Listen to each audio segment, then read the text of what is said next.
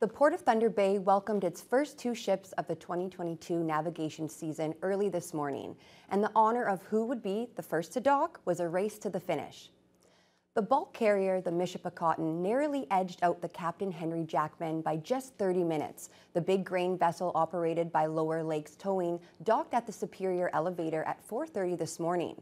The two vessels had been held up for four days by gale force winds in Sault Ste. Marie before starting their voyage across Lake Superior. Unfortunately, the poor weather followed the ships, forcing the cancellation of the traditional top hat ceremony. Two more ships are expected to arrive tomorrow. Port Arthur Authority CEO Tim Heney says they expect to be quite busy over the next month. Yeah, there's a couple of more vessels that'll be in uh, tomorrow. Uh, and then after that, the, the, next ships will be in next week. So it starts to go pretty regular after that. And, uh, you know, usually by the end of April, we've shipped about a million tons through the port on average.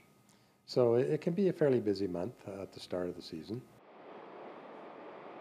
It'll be a quick turnaround for the Michipicoten. After loading up with its shipment of oats, the vessel will leave Thunder Bay overnight en route to Toledo, Ohio.